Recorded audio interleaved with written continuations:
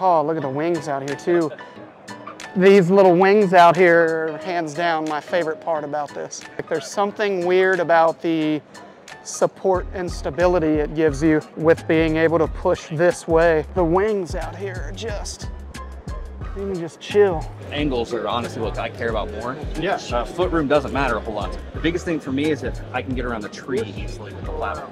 This, because of the way this is raised and it's got that con- concave thing going on, Yeah. it bites my it bites my foot. I hunt some weird trees, like Oh, yeah. crooked and angled. Oh, yeah. So like that.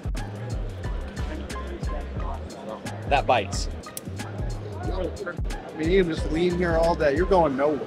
I mean, yeah, I think that's great. You're not going to have, like you say, it's just going to relieve a pressure point there where you're you're on the edge. Yeah. No, this will be my star child. You know what I mean?